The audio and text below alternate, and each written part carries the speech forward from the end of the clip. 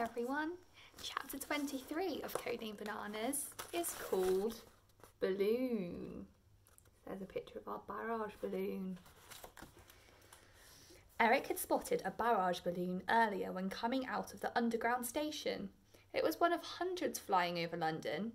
Barrage balloons might have looked like airships, but they were unmanned and tethered to the ground. They had netting or cables stretching down from them to a military truck on the ground. They bobbed around in the skies over London to make it more difficult for enemy aircraft to enter the airspace. It meant the Nazi bombers and fighter planes had to fly high over the balloons to avoid them. This made them an easier target for the British anti aircraft artillery, or big guns, on the ground. If the planes flew too low, then the guns couldn't spin round fast enough to hit them.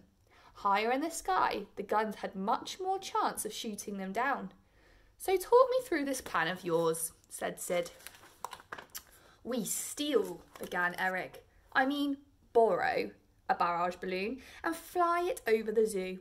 Once we reach the gorilla enclosure, we open the top of her cage and pluck Gertrude out. Then make our escape, escape across the sky. The old man stared into space, lost in thought. Uncle Sid? said the boy. Uncle Sid! What do you think? I think it's the least worst idea we've had, he finally replied. That means it's the best. Yes, I suppose it is, said Sid, a flash of worry on his face. But how do we know it's going to work? We don't, not until we try. Good answer. Now, let's work out how we could fly a barrage balloon. Upstairs in his bedroom, Sid had a collection of books about the First World War. In a book on old German war artillery machinery, there was a chapter on Zepp- Zeppelins.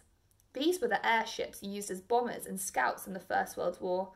Unlike barrage balloons, Zeppelins had engines and a gondola underneath for a pilot. That's because they were designed to fly rather than just float in one place. So there's a Zeppelin and a barrage balloon there. They look very similar, don't they? However, Eric was sure there must be some way of piloting a balloon, perhaps using the truck on the ground to which it was tethered. The problem was that time was running out. He looked at the clock on the kitchen wall. It was now one o'clock in the afternoon.